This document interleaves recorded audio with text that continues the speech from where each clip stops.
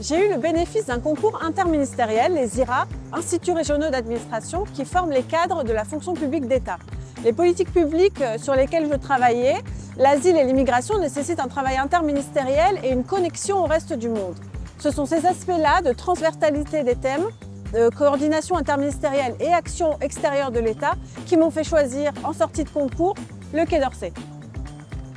Chargé du protocole est un métier rythmé par l'agenda diplomatique du président, du Premier ministre et du ministre. Avec toute notre équipe, nous coordonnons les visites diplomatiques des chefs d'État et de gouvernements étrangers, les conférences internationales à l'invitation de notre président et nous coordonnons le cérémonial autour des signatures d'accords internationaux.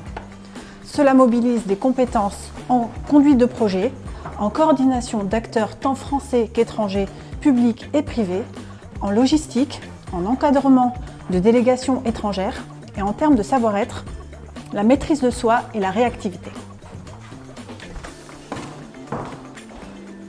Mon meilleur souvenir du protocole, c'était sûrement le dîner d'État offert par notre président en l'honneur du roi d'Angleterre et de la reine consort au château de Versailles.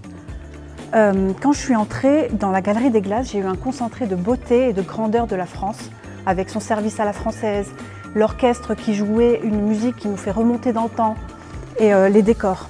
Et puis par une porte dérobée, euh, je me suis retrouvée la nuit toute seule dans les jardins de Versailles.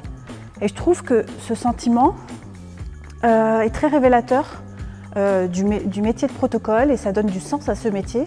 Parce que d'un côté, oui, il y a l'effervescence et l'intensité, mais après une mission, on a cette sérénité et le sentiment d'avoir réussi à réunir les grands de ce monde dans les meilleures conditions et euh, à traiter à égalité toutes les nations. Quand j'ai intégré le ministère, j'ai fait un choix pour les 30 prochaines années. Je savais que je m'y plairais que je développerais mon potentiel parce que les métiers sont divers et le réseau diplomatique à l'étranger est dense. Concrètement, tous les 3-4 ans, on a le pouvoir de se réinventer. Et humainement, les gens autour de moi sont captivants. Chacun maîtrise une langue étrangère ou une civilisation. On se cultive les uns les autres. Je pense avoir trouvé ma famille professionnelle.